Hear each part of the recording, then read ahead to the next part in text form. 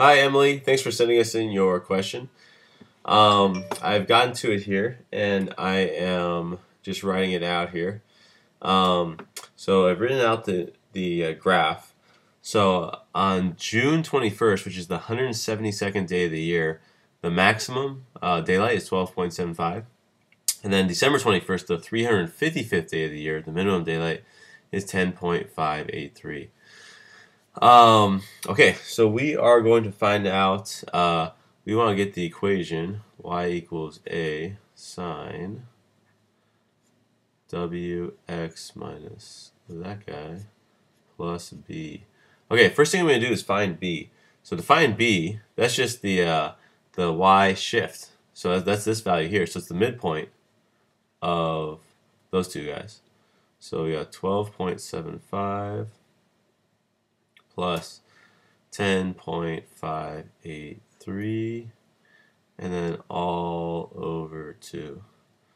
Okay, so we get 11.67. Okay, so we have B now. Now to find A, A is just the amplitude. So A is the distance from here to here. Okay.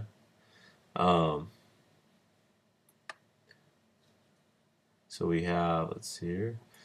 Okay, um, so this is 11.67. So the distance from here to here is just you just subtract them.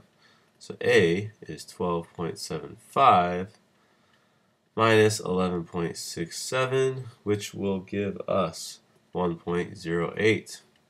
Okay, the next thing is to find um, W, okay, or the, um, so what first thing you want to do is uh, the period is 2 pi over w. Okay, that's the equation you want to know. And the period in this case is 365 days. So we go 2 pi over w. Okay, so if we solve for w, we will get 0.017. Okay, um, so now we have w. Okay, so the next thing we want to do is figure out what uh, I think this guy is called chi right here. I'm to figure out what chi is. So I'm going to actually use this equation here. I'm going to plug in a point. I'm to plug in this point here, which is 172 comma 12.75. So I'm to plug in that. So this is 12.75 equals A, which we know is 1.08 sine of W, which we found to be um, 0.017. 0.017 times x. For, for this particular point, x is 172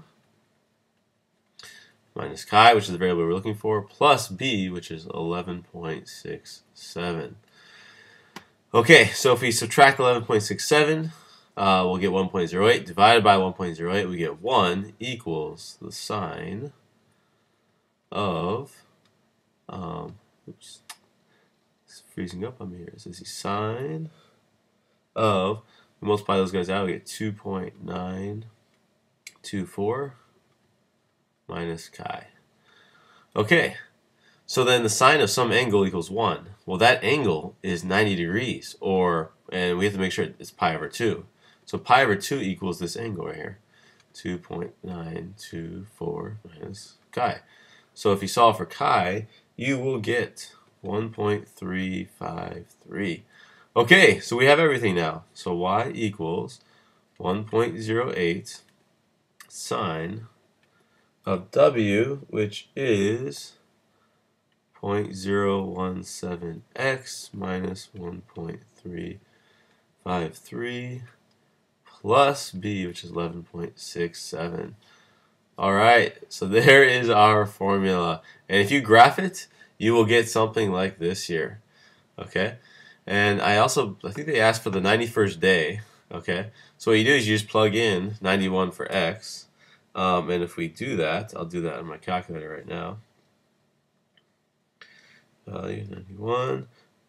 okay, so when we plug in 91, so when x equals 91, y will equal 11.878.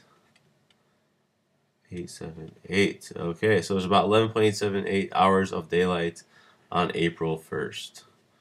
Okay, Um, and then as far as looking up in the almanac, I didn't get a chance to do that. Um, you might want to do that on your own, maybe just Google it. Um, but yeah, this is kind of the, the meat and potatoes of this problem. Uh, thanks for sending us in your question. I look forward to answering more of them.